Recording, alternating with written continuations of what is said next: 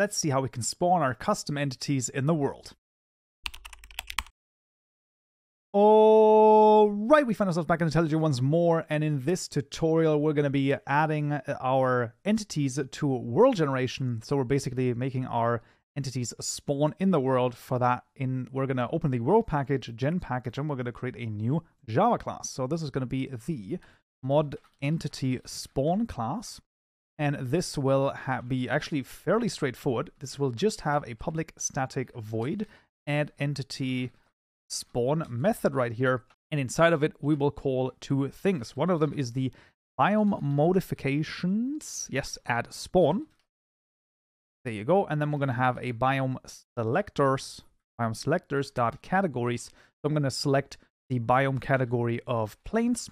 So I want my, you know, my raccoon to spawn in plains. And we're going to say spawn a group is creature. Then the mod entities dot, no, mod entities there you go, mod entities dot raccoon, And then we need a weight, the minimum group size, and the maximum group size. And that is it. Now the raccoon would spawn in the plains biome.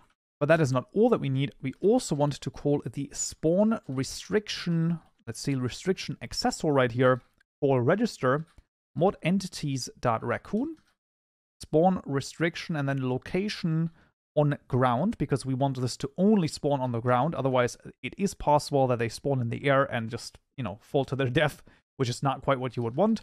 And then we also want height map dot type dot motion blocking no leaves.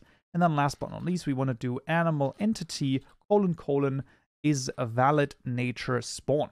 So this way they will spawn pretty much how any other animal would spawn as well. Very important to add this, otherwise, like I said, they might spawn in, in the air and just fall to their death, which is definitely not quite what you would want.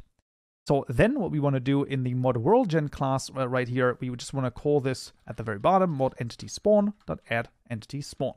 And that is it. Now our custom entity will spawn in the world, and you can of course change this, right? You can change the selector right here to, I mean, basically be anything that you would want, similar to the ore tree and flower gen, right? We can say all different biomes. We can say all of the things that are found in the over- overworld, certain tags, include by a certain key, and so on and so forth. So there's plenty of different ways that you can basically add, you know, the actual spawn of your custom entity there.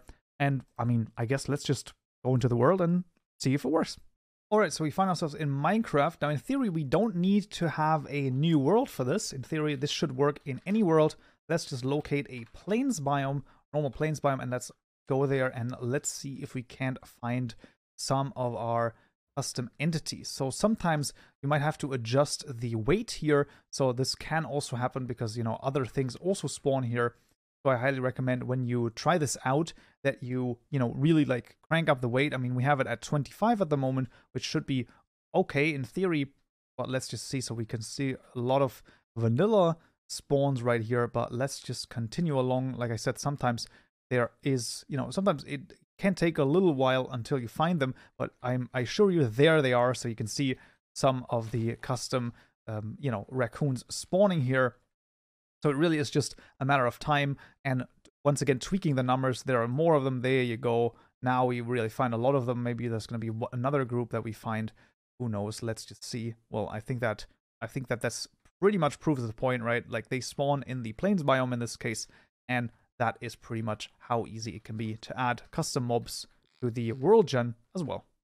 Right, but that would already be it for this tutorial right here. I hope you found this useful and you learned something new. If you did, I would very much appreciate a like, and don't forget to subscribe for more tutorials just like this one. I also want to thank all of my lovely Patreon supporters for supporting me and this channel. It is very much appreciated, and I'll see you in the next tutorial. So, yeah.